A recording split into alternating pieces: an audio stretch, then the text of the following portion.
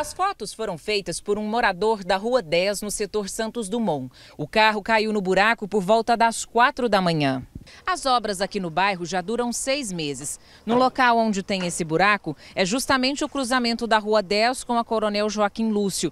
Está sendo finalizada aqui a rede de drenagem. A Secretaria de Infraestrutura acredita que o dono do carro retirou a sinalização que existe no local e entrou.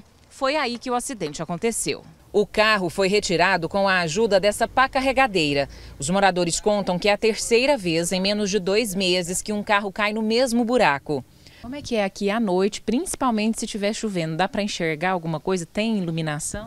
Não, a iluminação desse poste não funciona, a iluminação é precária. À noite também é escuro, um caos. Aqui na Rua 10, os vizinhos e os moradores até conseguiam entrar em casa e sair com o carro. A prefeitura tinha passado uma patrola aqui na rua, que está só a terra. E aí eles mesmos pegaram pedaços de asfalto, pedras e colocaram aqui para servir de rampa. Tava dando certo. Depois da chuva que caiu na última madrugada, tá impossível. Ninguém consegue chegar aqui de carro. Olha o tamanho das valas que se abriram. Quem quiser sair, chegar em casa, pedir uma encomenda ou qualquer coisa do tipo, tem que pedir um carro por aplicativo. E esse carro por aplicativo tem que parar lá na esquina. Mas muitos motoristas se recusam até mesmo a fazer isso.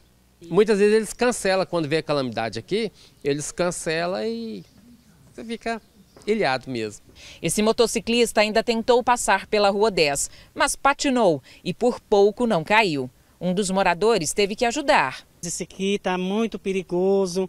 Não moro aqui, moro em Goianira, mas eu acho assim que as pessoas responsáveis por isso aqui tinham que olhar por, esse, por esses pessoal daqui, porque aqui está sofrimento. De acordo com a CEINFRA, só depois da finalização da rede de drenagem é que será feita a terraplanagem e o asfalto na região.